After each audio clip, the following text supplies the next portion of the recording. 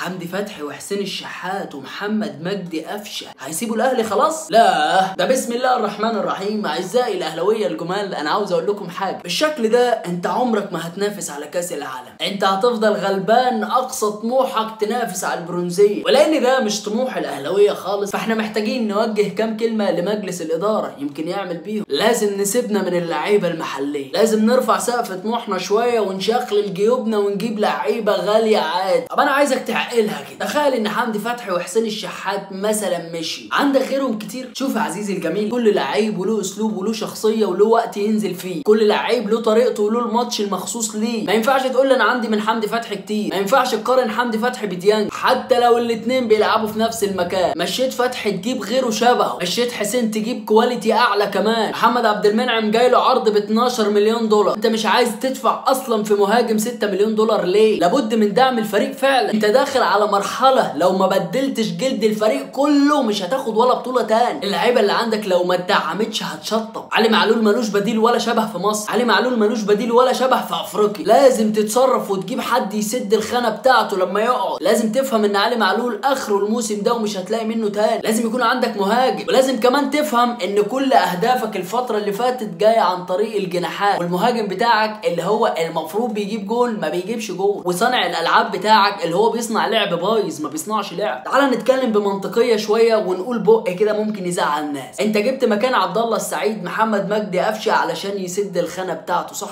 ما سدش. ما جاش ربع عبد الله السعيد. طب انت جبت احمد عبد القادر علشان يسد خانة رمضان لحد دلوقتي ما سدش نفس المكان. اي نعم احمد عبد القادر ممكن تكون موهبته عالية جدا بس فعلا ما سدش مكان رمضان. يمكن سوء توفيق آه معاك فيها. ولكن إحنا مش عاوزين ده. وأنا مش بس بطالبك تجيب مهاجم أنا بطالبك تجيب مهاجم وله بديل بطالبك تجيب صانع لعب وله بديل بطالبك تجيب مكان حمدي فتحي وله بديل بطالبك بإنك ما تبيعش الشحات ارجوك ولا توافق على عرض عبد المنعم. أنت بتهزر؟ خد دي. بطالبك تجيب بديل لعلي معلول وله بديل عزيزي الأهلي الجميل إحنا ملناش غير. عزيزي الأهلي الجميل إحنا ما بنشبعش. فأرجوك علي سقف طموحك شوية وانسى البرونزية ونافس على كأس العالم كله. البطولة اللي فعلا بتمناها من كل قلبي لازم نحققها. إحنا مش أقل ولا هي أكبر مننا. وخد دي ال 12 يا أهلي.